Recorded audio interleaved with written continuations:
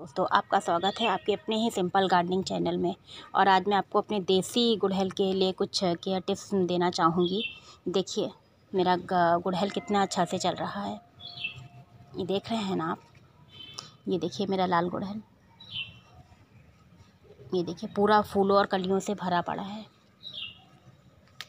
और ये एक साल पुराना प्लांट है। इसकी आप ग्रोथ देख सकते हैं, कितनी अच्छी हुई है। और सबसे पहले तो मैं आपको ये टिप्स देना चाहूँगी कि इसमें जो बहुत ज़्यादा आप उसमें वाटरिंग मत दीजिए। इसमें मॉइस्चर मॉइस्चर का आप ध्यान रखिए कि इसकी मिट्टी सूखनी नहीं चाहिए। अगर आपको सूखी मिट्टी इसमें दिखाई देती है तो आप इसमें पानी दीजिए, लेकिन दोपहर में नहीं। सुबह या शाम में आप इसमें पानी दीजिए और अच्छे से ऐसी इसकी मिट्टी बनाइए जिसमें इसमें मॉइस्चर बना रहे। इस चीज़ का आप ध्यान रखिए।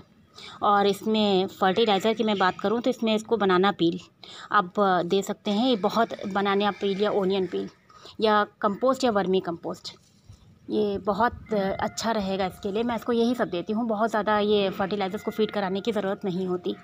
ये देख रहे हैं आप, ये मैंने बनाना के कुछ टुकड़े रखे पीसेस रखे हैं। इसको मैं सुखा के इसमें गुड़ाई करके, जब सूख जाएँगे ये टुकड़े तो मैं गुड़ा, चारों तरफ़ गुड़ाई करके इसमें डाल ऐड कर दूँगी।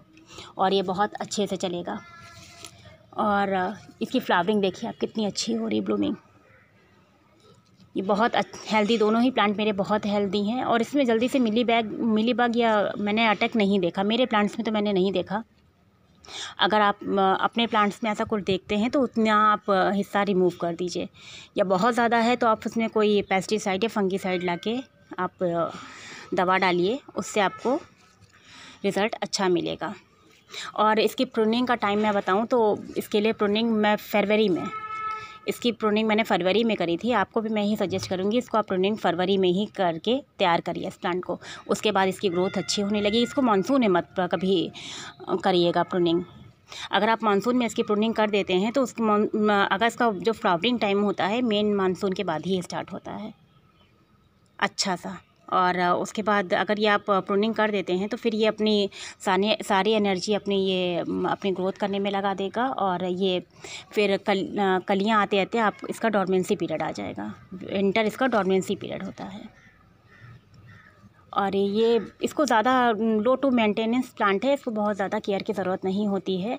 जिस तरह से हमारे हाइब्रिड हिबिस्कस को हम लोग केयर करते हैं, इतना उसको नहीं चाहिए रहता।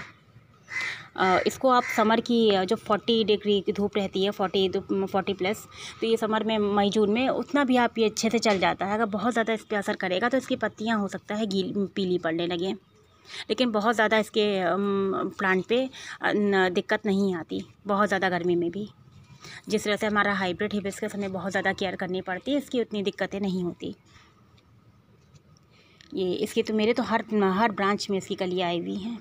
इसको अभी मैंने वही फर, फरवरी के एंड में इसको प्रूनिंग प्रून किया था। उसके बाद देखिए पूरा ये छोटा सा ही प्लांट था। पूरा ये इसने कई सारी ब्रांचेस निकाल ली। खूब सारी फ्लावरिंग हो रही है देखिए। सुबह मैंने इसमें पूजा के लिए दो फूल भी तोड़े और ये कल भी कलियों के लिए बिल्कुल प्रिपेयर है। ये देख रहे हैं आप कितनी सारी कलियाँ हैं। इसकी बस थोड़ी सी आप अगर ध्यान रखते हैं गमले में लगाकर तो बहुत अच्छा ये प्लांट आपका चलता है और परमानेंट एक प्लांट होता है ये आपके गार्डन में।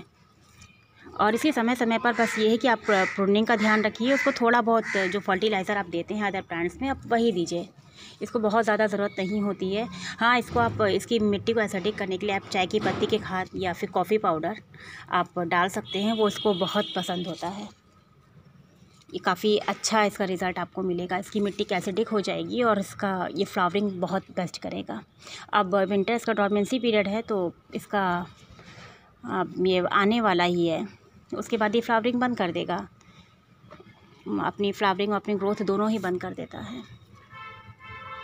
और ये देख लीजिए मेरे प्लांट्स की कंडीशन अभी मैंने बीच में यहाँ से एक कट किया था तो यहाँ से दो ब्रांचेस निकल कर आई हैं। छोटा सा ही मैंने ऊपर से पिंच किया, कर दिया था बस।